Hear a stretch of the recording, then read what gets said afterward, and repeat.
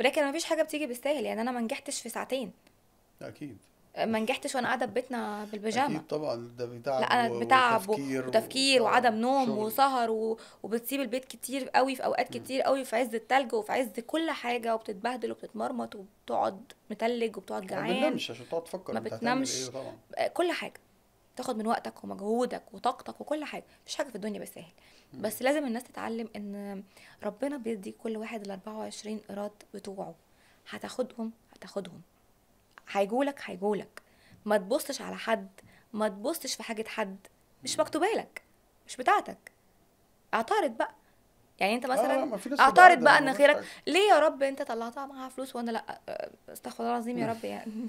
يمكن انت لو معاك مثلا زي اللي مع فلان هتبوظ مش تبقى ناجح. بتفرق. طبعا. دي وحصل مع ناس كتير جدا. جدا. طبعا. فربنا كل بيدي كل. واحد على قد نيته من الآخر برضه. طيب ده الكلام صعب قوي مع إعلامية. ليه؟ تخيلي بقى أنا بستضيف إعلامية مش إعلامية ليه؟ الموضوع الموضوع صعب جدا ليه طبعاً. خالص أنا أسهل من الثانوية العامة حتى